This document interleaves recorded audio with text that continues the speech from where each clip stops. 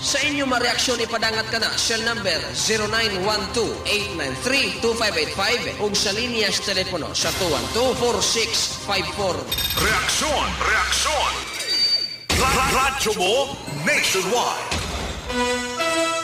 Oras makasama tatak alas 7.40. Koskos Batikos musunod na. Fearless but fair commentary. Fair commentary. A no-holds-barred discussion of hot issues. Discussion of hot issues. Kuskus, batikos. Magandang unang isyu. Programa nga walay kahadlukan. Batas o sakto nga magpresentar sa. Ano niya? O mga kahiwian. Kuskus, batikos. Ibulgar sa radyo. aron masayran sa tanan. Kang sang singgit sa katawhan sa dugay nga panahon. Kausaban. Kuskus, batikos. Ang tumo, tinuod nga serbisyo publiko. Kuskus, batikos, batikos. Prumalyo matriampos probonos min opira nos quam. Ang hinungdan ngano ang dautan musana sa katilingban tungod kay ang mga tarong nang hiyugpos lamang busa sa matag hisgutanan sa katilingban mangginlabot untang atong makatawhan. Dipolog dapitan sa Buanga del Norte kumusta may buntag welcome ning lain usab nga adlaw sa Tigbisog. Adlaw kar nga Webes speech sa city na sa bulan sa Marso tuig 2011 ang inyong alagad sa kahanginan. Tulumanong koskos batikos archer kapadiso. Kuskus ko, kuskus ko, kuskus mo, kuskus mo, batikos nating lahat. Karong bago na mahayag, si DILG Secretary Jesse Robredo nga angay tutukan sa Kongreso, angay tutukan sa mga magbabalaod, ang pag-amindar sa kasamtangang Juvenile Justice and Welfare Act of the Philippines nga mas naila sa RA 9344 tungod sa mga rasones nga sumala pa angay gyud nga ah, tutukan pag-ayo kay giabusuhan sa pipila ka mga dagkong kriminal kining maumbalaod sumala pa ni Robredo subay sa record sa Manila alone Metro Manila alone makasama misaka ang ilang rating sa mga gihimong krimen nga diin ang nag-ulo kasama kining mga dagkong kriminal apan ang gigamit nila ang mga kabataan. Nagsalig man guni sila mga kasama tungod kay subay sa balaod karon nga Juvenile Justice and Welfare Act dili gyud pakasadon kining mga minor de edad ilabi pag 15 pobos so di gyud ka pakasadon ang imong criminal liability di gyud na paninglon sa husgado mga kasama. Dili lamang sa nasudnon nga senaryo. Lakip na din sa lokal mga kasama. Giangkon sa mga otoridad nga maglisod sila. Maglisod sa pagsumpo sa mga ginagmayng krimen. Kay kining kawat-kawat pity crimes man ni giisip man ni pity crimes.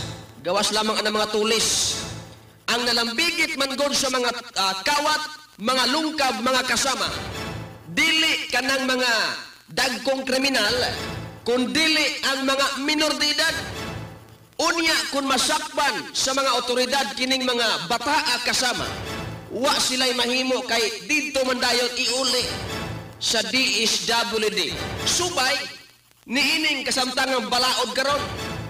Mo ni gustong pamindaran ni Secretary Jesse Robredo o niya, ang move mga kasama, ana ana usab karon sa Kamara Baha.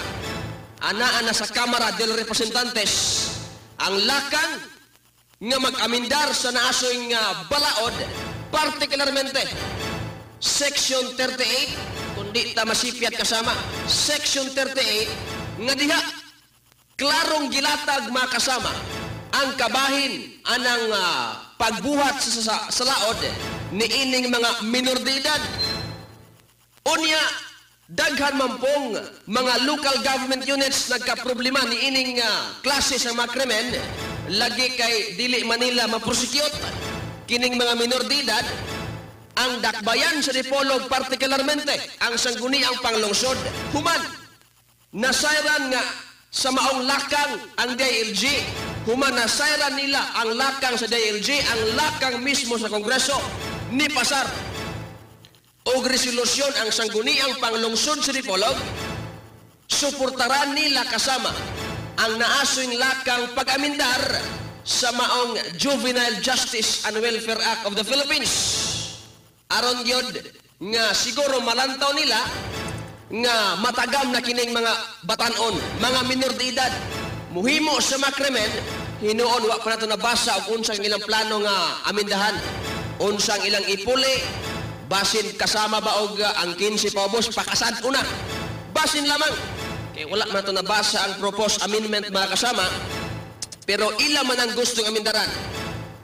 Muni balaod man gud ni Kiko Pangilinan. Unsa man day proseso ining kasamtangan karon mga kasama. Subay man god ni ining atong Juvenile Justice and Welfare Act of the Philippines. Kadtong mga minor de edad 15 pobos absoluto kana absolute nga walay criminal liability. Gawas lamang sa siya civil liability. Kay og kana naanay inahan makabayad man ang ilang ginikanan sa danyos. Apan criminal liability wala gina. Absolute basta kay 15 ka paubos. Unya kung 18 ka dili pug ka muubos sa 15 dili ka mulapas 18 dili ka mulapas sa 15 sa ato pa in between. 15 years old o 18 years old mga kasama. Kung ikaw nakahimo sa salaod unya ana ka sa maong age bracket mga kasama. Susihon sa korte kung ang imong paghimo sa maong salaod kana ilang gitawag with discernment. With discernment. Unsa man ang discernment makasama kana bang ana kay kasayuran nga imo nang gihimo. Nasayod na ka nga kana dautan kana kremen pero imong gihimo kana moy burden nga susihon sa korte kasama. Kay kun ana agani sila makita nga discernment niya na kanang imong edad nga naa na bilong sa age bracket 18 to 15 ana ana kay criminal liability. Apan kun wala ugaling sila makita nga discernment sa imong pagbuhat sa imong salaod di gyapon ka. Ha? Di gyapon ka liable criminally. Mo na explanation sa nasing balaod kasama. Unya kung imo yun ang nahimo apan wala kay discernment sumala pa sa korte mga kasama ana ay diversion measures. Alang kanimo. Dito ka ibutang sa DSWD dangpanan mga DSWD makasama dito ka ibutang og naa ka sa barangay. Kining ah, barangay council for ah, the protection of minors. Naa man na. Barangay council for the protection of children. Naa na. Nga sila andam og tagana bisan pagkanusa. Musa pupo ni ining mga minor de edad nga nakahimos krimen unya wala pakasada sa korte. Nganong wala pakasada ato na tong giexplikar sa unahan mao nay mga programa sa gobyerno kasama. Aron nga ma-refresh ba ang unahuna sa bata? Mabago siya. Mabago siya. Unya dili na dayon makahuna-huna pa. Pagbalik og himo sa maong daotag nga binuhatan Kuskus ko, kuskus ko.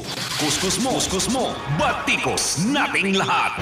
walay laing tumong ang naasing balaod protektaran ang atong mga kabataan nga dili gid unta sila mabalhog sa bilangguan sinan kang balaod ka sa madapig ka sa mga kabataan oy kay gani ha bisan pag nakita sa korte nga ana discernment ang pagbuhat sa maong nga minor de edad sa maong krimen ang iyang age bracket 15 to 18 apan dili lamang gihapon siya ah, pwede gihapon sa korte. Isuspenso ang iyang penalty. Isuspenso ang iyang unsa man imprisonment. Pwede gihapon. Discretion gihapon sa korte kasama. Ing ana ka mahigugmaon ang balaod karon nga Juvenile Justice and Welfare Act kung maghisgot ka ngadto sa mga kabataan. Ing ana mulaban ang atong balaod ngadto sa mga minor de edad. Siguro gitagaan po nila kinabuhi mga kasama ang bantugang panultihon ni Rizal nga kining mga kabataan mo'y paglaom sa atong nasod. Nan kung imo silang bilanggoon asa na may ugma sa nasod nga ang iyang ugma kasama kasagaran kanila na balhog naman sa bilangguan. Kuskus ko, kuskus ko. Kuskus mo, kuskus mo. Batikos nating lahat. Buot ba po di pasabot?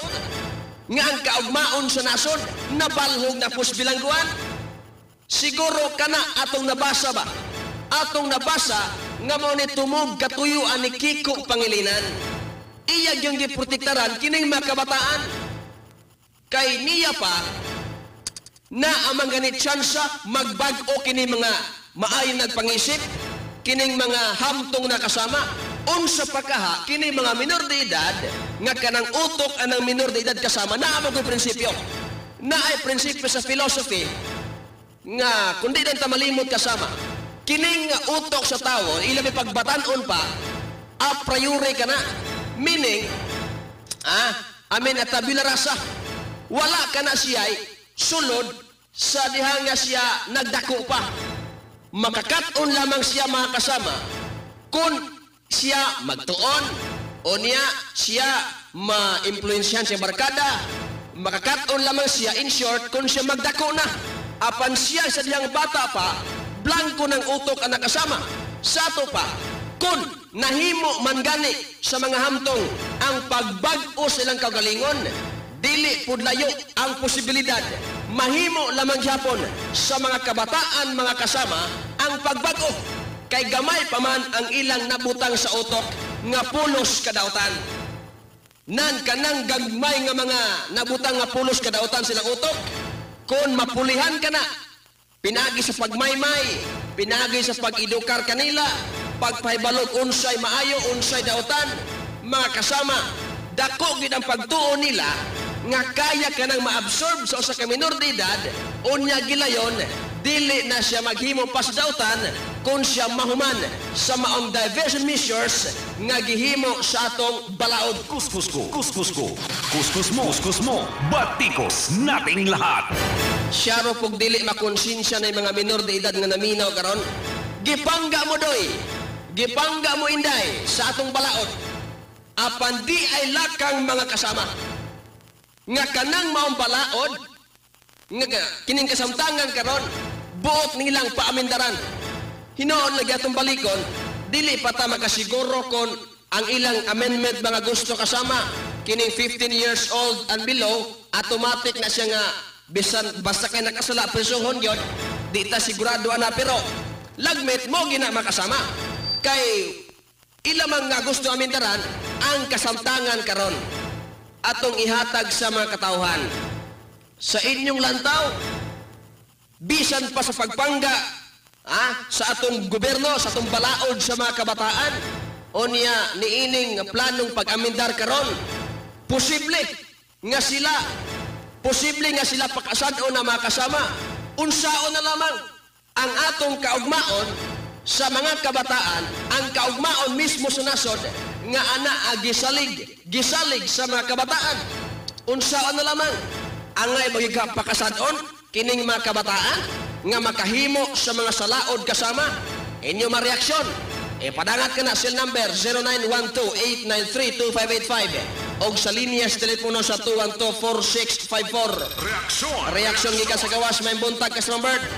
Ang budot sa mga archer, ang akong concern ani ka sa mga archer, mao nga ah, ang balaod siguro na may rason, murag okay naman siguro ang balaod, pero siya ko na balaka ka sa mga archer katong statement ba nga nakuha na ko ganina nga kung ang mga hamtong mogamit nining mga minor de edad no? Kay lagi maprotehian man ang minor de edad kung buhat sa krimen. Pananglit kon ang dako mo'y mogamit pas minor de edad? Nadri akong concern ba no? Kay mo man siguro na pero wala ko kita may naghimuana pananglit kung naagi na kasamang archer concern ko ba kay ikaw basik nakabasa ka mangutan ako kini akong salmo murag dala pangutanan ni nga unsa man po'y penalty alang sa mga masaktan nga mga hamtong nga mogamit sa mga minor de edad paghimo krimen. Wala ba kayo nabasa na kasama archer? Ah, sa atong nasayran kasama Bert, ah, kung naay naminaw karon makoreksyonan ta. Kining na, nigamit sa mga minor de edad ilabi pagdagkong krimen, giisip na sila nga principal sa mga ah, salaod. Principal sa ato pa kung ah, ma ma-trace up yun nga sila ang nagsugod na ng mga kabataan unon, ang mga kabataan, dako sila pinalti kay giisip man sila gihapon nga principal kay nagamit man sila sa mga minor de edad kasama birth. O din ang penalty din na na sa sir. Dako gid siyang pinalti ilabi pa nga ang krimen dako pod kasama birth. Murag ka na may akong nalantaw nga concern ani ka sa mga sir no. Kay sila ba kanang gusto rin ka makalusot, mo bisag mo nahon nimo kwintahon nimo. Sus pa sila mas dako no nga imong pahimuslan ang mga minor de edad pag iskapar nimo sa sa laot nga imong himo. Mm. Okay, murag ka na lang sa siguro kasama church kay murag di ako na balakaw ba. No? o din ano may ibalo po to sila uta gyud si penalty para mahadlok sila mo himo na. Kana lang sa mga church. Kuskus ko, kuskus ko. Kuskus mo, kuskus mo. Batikos nating lahat. Nagkanayon makasama Interior Secretary Jesse Robredo raised the issue of amending the juvenile law during the consultations with local officials last week, noting that not only are criminal entities using minors, tanawara, some of these youths are also becoming bolder in committing robbery, theft, because they know they would be eventually freed mga kasama. Nawara. Mismo, dili lamang di ay kini mo resulta sa pagtuon mga kasama. Dili lamang di ay kining mga dagkong tao ang mugamit sa mga minor de edad. Ang mga minor de edad karon makasama na sayon na nga dili sila pakasadon. Pusa, bisan pag wala magsugo, wala nagsugo kanila, sila mismo muhimo na sa krimen. Kana mo statement ni Jesse Robredo, ang atong DILG Secretary makasama. Kana dako man ang posibilidad kay sa wala pa ta sa broadcast kani adto kasama tigpaminaw man ta. Ha? Anang ubang mga media? Labi pa ka nang sa may uh, Cebu kasama. Matod pa nila, experience nila. 15 years old pa sila ni Adto, maantigo naman. Murason. Mantigo na. Gani, 15 years old, kato siya kasama. Mudepensa naman sa iyang relihiyon. Makigdebate naman. Sa ato pa, dili tanang mga ania nining idara. 15 pobos atong maisip nga walay buot. Butan na na, oy, ilabi pa na ning kasamtangan karon high-tech na makasama ato pong maisip nga high-tech na po ning mga kinaadman sa atong mga minor de edad. Reaksyon Reaksyon, reaksyon. Gikan sa text makasama reaksyon ato ning pagabasahon. Ah? Mm. Reaksyon gikan sa text makasama. Gikan sa cell number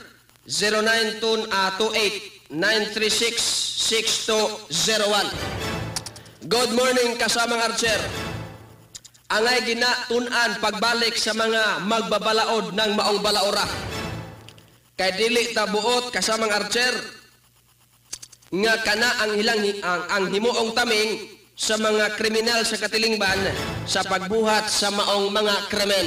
Nibalik sa kaga si kasama Silbert. Reaksyon, reaksyon. Ano nga pasumbay kasama church no? Mm, Katong statement nga mong giliwatan ba ko. Kwan po to, murag concern gid po kaya no? Kay murag ang mga katong passing nga kanang mga minor de edad ron nga murag questionable po kung kanang sa ilang discernment ba no? So, angay po do ang mindahan no? Ang balaod. Kanalang kasama church. Yes, kasama Bert, salamat. Reaksyon, reaksyon. Reaksyon sa cell number 0916-867-9313. Ignorance of the law excuses no one. Kung unsa may salaod, pagasilutan. Mula gina, kini mga kasama prinsipyo ni aplikado man ni karon apan kay wala man gud nag-iisip nga subjects balaod. kini mga minor de edad. Pero niya pa, kana kasama wala gina pagapilion. Bisan pag atong isipon nga wala sa ilang buot na muhimo sa makremen apan niya pa texter pa ignorance of the law excuses no one. Kinahanglan gyapon nga sila pakasadon. Kuskus ko, kuskus ko. Kuskus mo, kuskus mo. Batikos nating lahat. Lain pang reaksyon Reaksyon, reaksyon. gikan sa cell number 0918-767-1671. Good morning kasamang Archer. Unsa na laman dayoy ah, unsa na laman dayoy sa ligan sa atong nasod alang sa ugma kun pananglitan ilang pakasadon ang mga kabataan simba ko katunga sa mga kabataan, mabalhog sa bilangguan. Wa na tay kaugmaon anak kasamang archer. Kuskus ko, kuskus ko.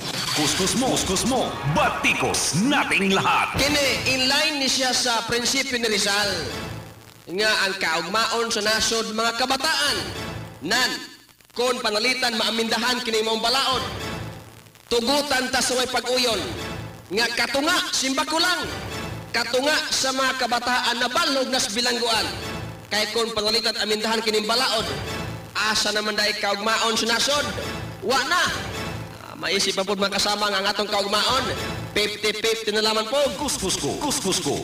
Kuskus mo, kuskus mo. Batikos nating lahat. Reaksyon! Katapos ang reaksyon, kay wala naman tayo oras. Good morning, sir. Kanay problema sa community kumuna sa child o sa old. Paggamit sa kadaot, kawat, bad element para magamit ang PNP, DSWD og mga abogado og lahi na ang mga kabataan karon nag-abuso na, sir. Ah, sumala pa ni Brad Ruben, lahi na ang kabataan karon. Kay sumala pa, nag-abuso na. Ah, lahi na kayo, lahi na. Dako nagkalainan kumparar sa mga kabataan sa unang panahon, mga kasama.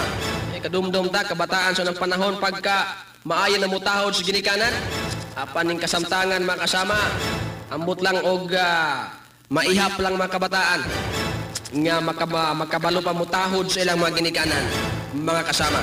Ing ana, ang kalainan karon og sa kaniadto. Muna nga moingon tong uban nga kung pahinaykan lang ginato og dapig og laban og pagpangga ang atong makabataan magsalig kana kay ang tanang pagpasulabi ang tanang pagpahinayak di gyud kana mo resulta sa kaayuhan matod pa na nila mga kasama Kuskus ko, kuskus ko. Kuskus mo, kuskus mo. Batikos nating lahat. Apan kay wa naman tay oras ato sang i-congratulate kay gitext kini kagabi kasama gusto gid siya nga madunggan yang pangalan sa ere. Congratulations ni Miss Shelo May Mures. Mugraduar karon ah, karong Sabado sa Andres Bonifacio College sa kursong Bachelor of Science in Education. Hangtod na ugma pohon, alas 7:30 ngadto sa alas 8 mga kasama. Kasamo serbisyo publiko, Archer Kapadiso, manamilit pinagis pagingon. Ang pagpakisayod sa kamatuoran ilhanan sa pag-amping sa tantang kagawasan. Tungod kay ang pagpakisayod, usa kakatungod tatak araben, radyo mo nationwide. Kuskus ko, kuskus ko. Kuskus mo, kuskus mo. Batikos nating lahat. Ra- ra- Radyo mo nationwide. Oras, tatak alas 8.